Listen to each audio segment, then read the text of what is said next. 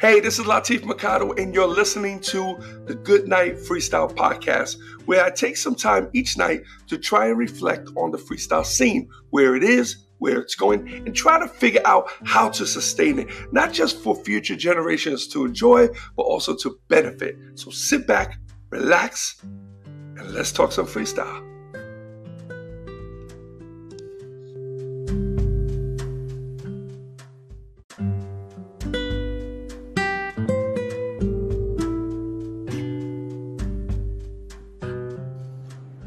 Hey, what's up, everyone? It's Latif Mercado, and this is the Good Night Freestyle Podcast, and this is episode number 67.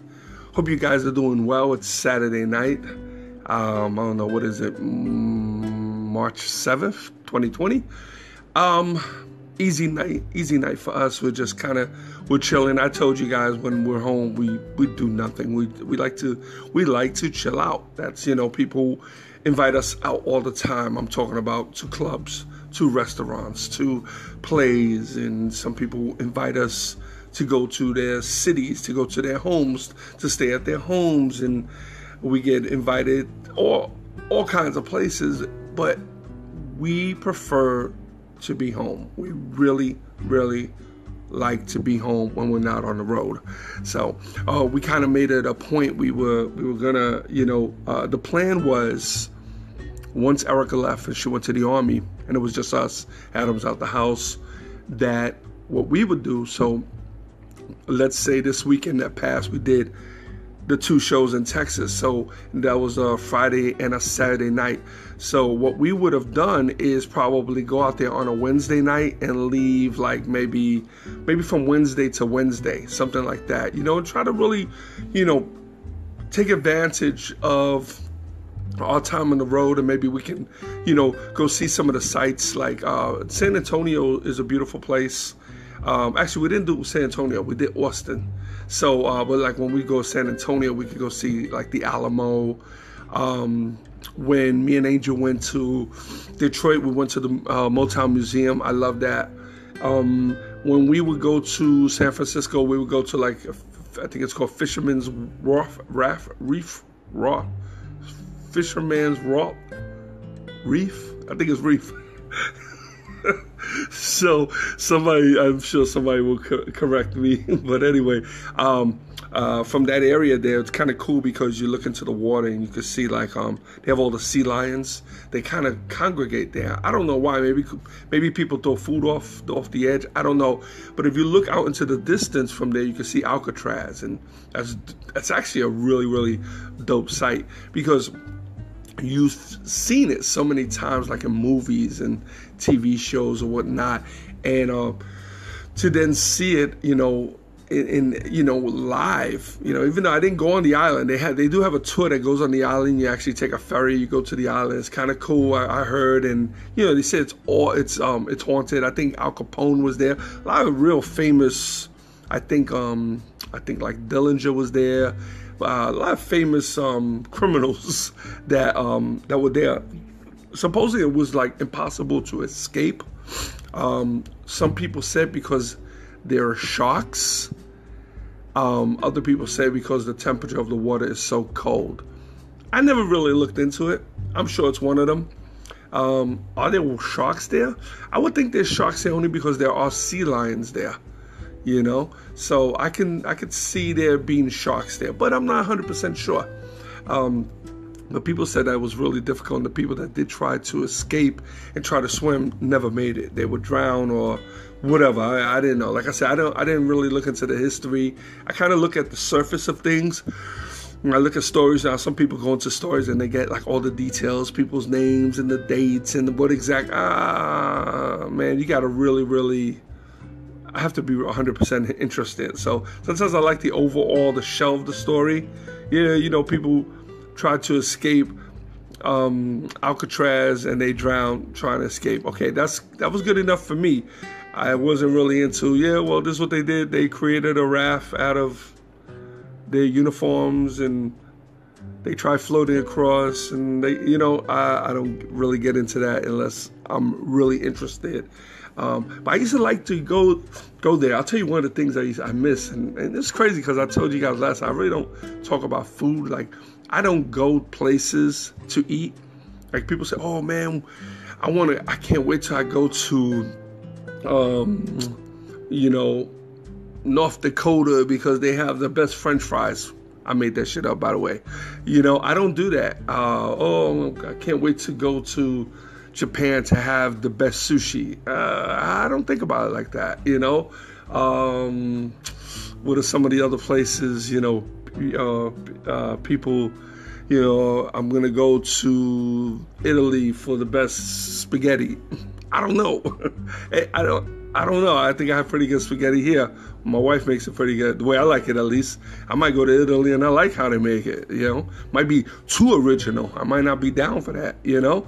So, um, but anyway, uh, yeah, I don't really go into. Oh, but when I go to San Francisco, they have the clam chowder that they give you um, in uh, one of those bread bowls and you see people walking around with it. So it's kind of it's and it's really good. I remember that being good though. I do remember that being good. But I was young also, so I was like in my twenties. I don't know if now, like I, I eat I eat stuff like that. I kind of I kind of got to be home.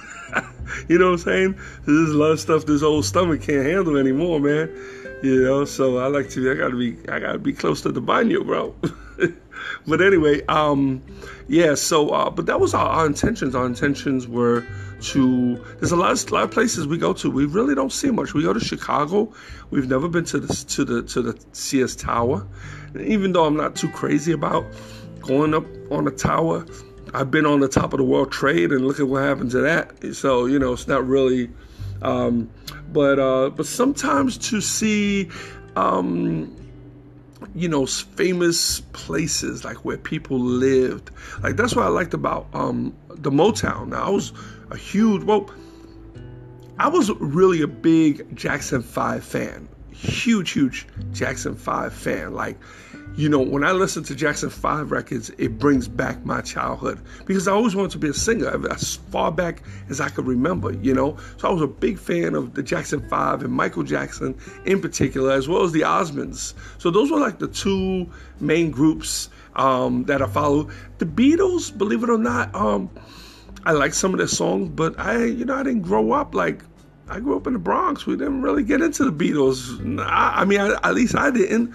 Um, and um, but um, to go into the Motown Museum. Oh, and another thing.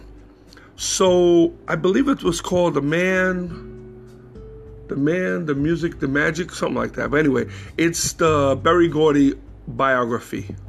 I don't know if it's autobiography. I don't remember, but I bought that book a long time ago. I don't know what happened to it. Um, but if you guys get a chance, get that book if you're interested in something like that. Um, and and it shows how he, you know, built the label. I wish I had one of those brains that retains stuff because it was such great stories. I read so many books, and I guess my brain grabs the important stuff. So if it's 500 page book, I might grab a page. You know, I'm talking about combined information, maybe a page's worth, and the rest kind of gets like deteriorates, like it disappears, and my mind tends to um, retain important aspects. Like with the Berry Gordy, I remember, you know, certain things. One of the big things that I remember is that he borrowed money from his family. It was eight hundred dollars to start his label. So that was pretty interesting because they had almost like a family fund and like the family had to vote. Like if somebody needed the money, the family had to vote it, and then they would give the money, and then they would have to pay it back. I guess I forgot how that worked, but um, but that was pretty good. So so I knew the story. I got really into the story, and then to go to Hitsville, um, like you step in there, and then also with all the movies that you've seen, like they they had the movie with the Temptations and stuff like that, where you saw Hitsville, and then all the documentaries, and so now here you go, you're, you're stepping into this thing, and it's like incredible. It always it's always smaller than it looks on TV than you imagined.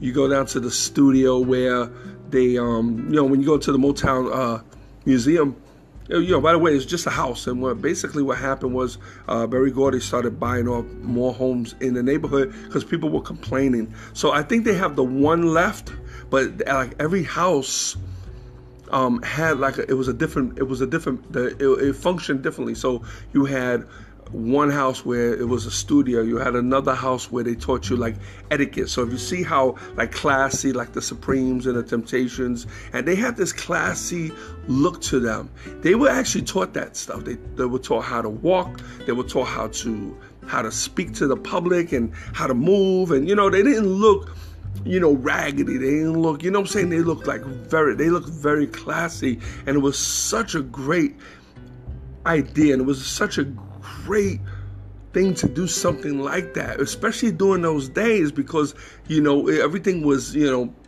was uh, segregated, you know, and it took a lot, you know, even though people, you know, people loved R&B and they loved this music, um, some people were, you know, they couldn't, they kind, they couldn't really listen to it in public. They couldn't, they had to kind of do it on the down low. You know what I mean? So what they did is they took, you know, this stereotype of people, you know, these people that were stereotyped, and they they elevated them to a different. So that way they have this a totally different image. So the image that were portrayed especially by the racist people that were portrayed, you know, how they how black people should be looking or sounding or walking or talking. Motown totally threw that away. They threw that away and they created, you know, people that were straight up upstanding and they, they the etiquette was better than anyone else around them, you know, including the white people, you know. So so it was a uh, and then they had another building which was like finances. They handled all the bookkeeping and stuff like that. So it was cool. They had all these. Right now, um, they only have the one house which kind of represents all of them, but is it is an original house. And um, so if you type in Hitsville Motown Museum, you'll see the picture. So that's it right there. Um, and it has like a little, um, also a little like a gift shop. You go in there and buy some stuff. Um, me and Angel took a bunch of pictures uh, in there. It was we had a good time and it was so historic. See, that, that was the beauty about me and my wife is that even though we didn't grow up together, we grew up very similar. We grew up really loving the same thing. So I mean, from the foods to the music to the passion. Um, and, and neither one of us knew anything about freestyle. You know, we it, we both ended up in it. You know, um, it's nowadays that people you know focus on freestyle. Yeah, I'm gonna be a freestyle artist, so I'll be a freestyle producer. Back then, it was all pop. You know, uh, me, I was more into hip hop you know. But what I was what I was getting at was, you know, being able to travel the country and just going. Like I never been to South or North Dakota. Few cities I've never, few places I haven't been to, and I've been to a lot of the country. Like I think I've been in every, just about every major part of California, every major part of Texas. Um, uh, Illinois mostly, you know, Chicago, Waukegan, those areas. I've been by the prison, the Juliet prison. Is it Joliet or Juliet? Whatever. Anyway, um, and uh, um, oh yeah, and when I when I the first time I ever seen this is crazy, the first time I ever seen Alcatraz, right?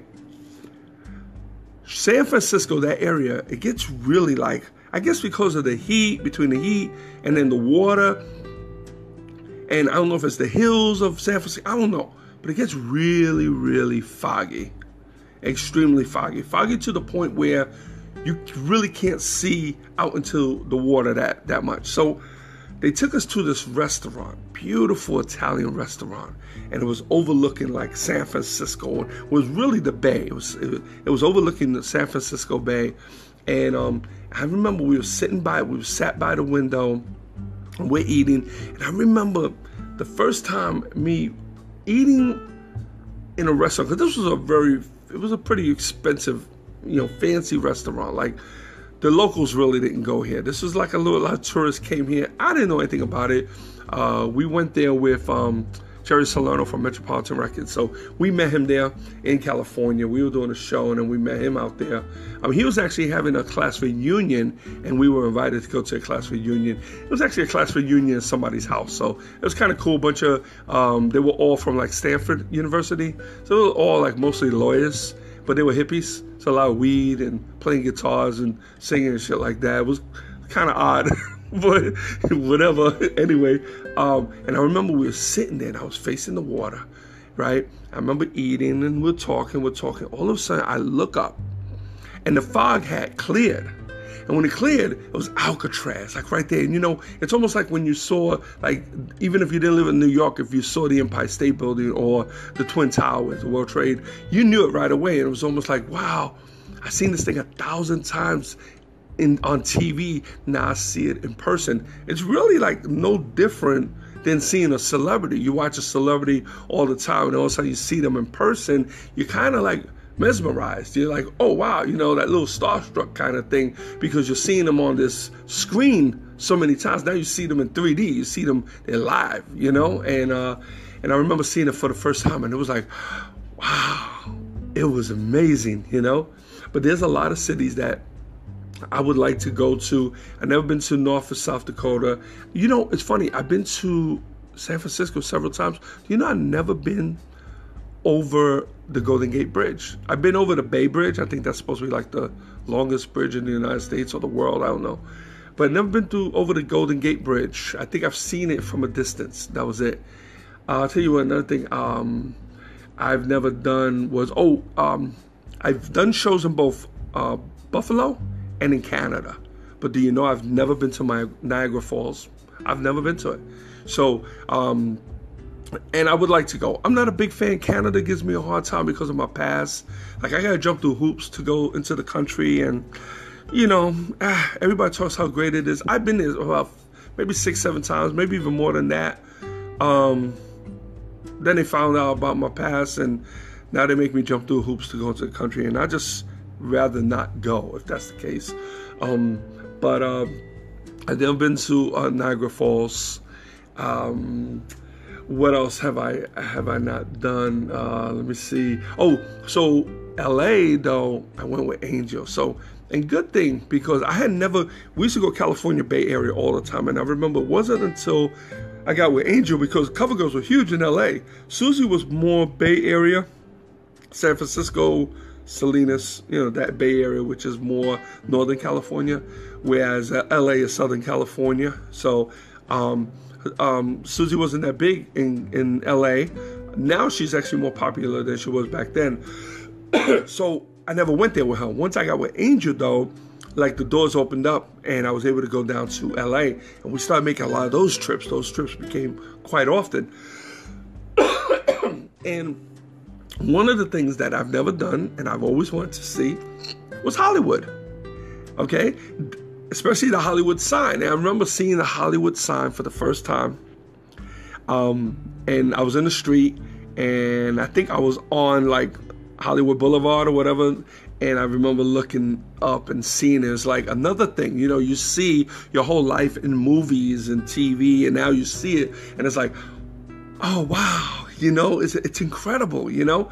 And then to walk, do the Walk of Fame, you know, where you see the stars. What is it? Walk of Stars Star Walk. I don't know what that Walk of. I thought it was a Walk of Fame. I could be.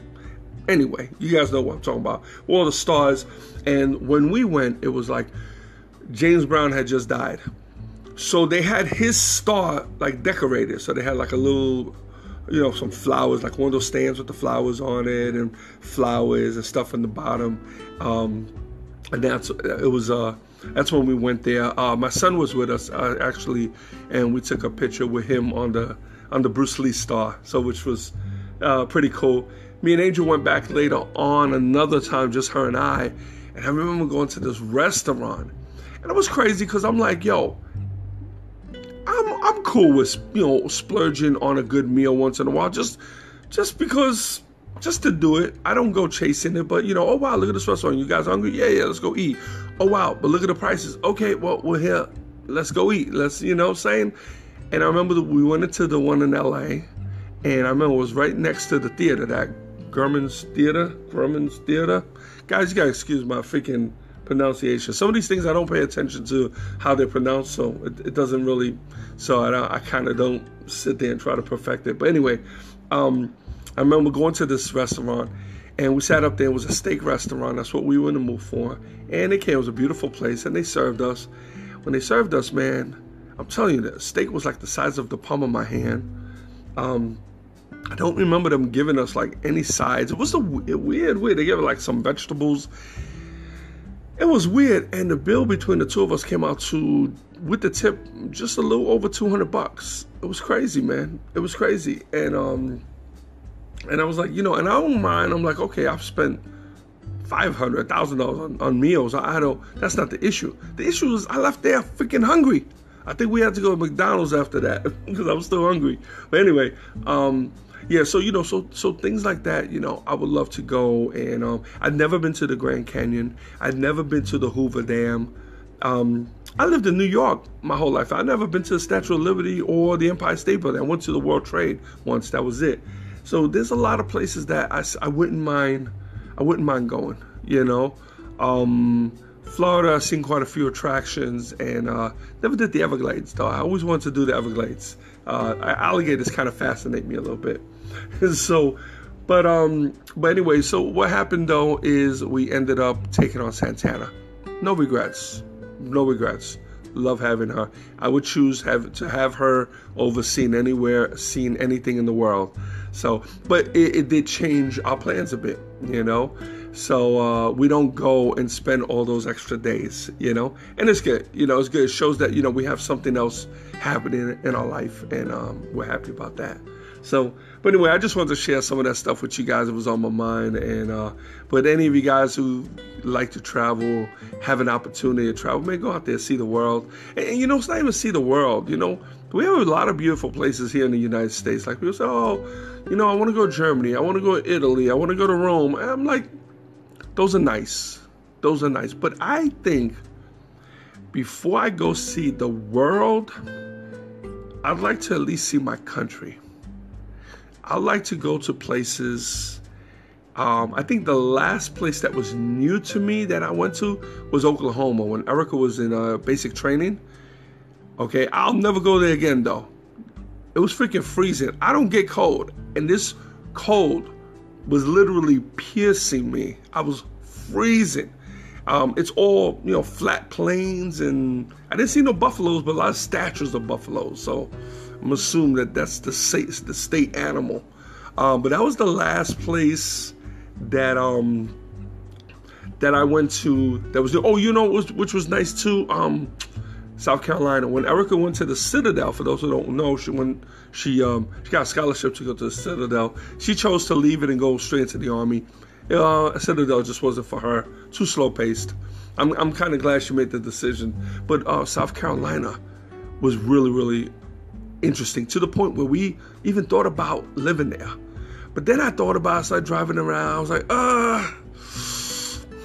I mean, I love to see the historic stuff. I love to see the old houses. But at the same time, man, I like a little more room. I like more of a like. I had an old historic house. I don't ever want to deal with that crap again. You know, you have to have a ton of money. Like you have to have money where you're just really, really hooking it up. But you know, if it's like a pet project and you're trying to build it slowly, it's expensive. You know, and if you're not, your heart's not into it, it ends up not being fun. You know, so but if you have a chance to see the country or even start with your state, maybe there's places within your state or within your city that you haven't seen, start from there. Start from your city, you know, and um, and just enjoy it. So, but anyway, guys, I just want to chat with you about that for a little bit. Hoping uh, you guys all have a great night. There's quite a few freestyle shows happening around the country. Hope you guys go see them, go support them. Remember, any phonies on there, just throw your wristbands on put your fists up, let people know. But the rest of the concert, enjoy, take pictures, meet the artists, sing the songs. Uh, we're, we're, very fortunate. We we're involved with an incredible genre of music. I love it, and uh, thanks again for listening, man, all of you. And until tomorrow night, good night, freestyle.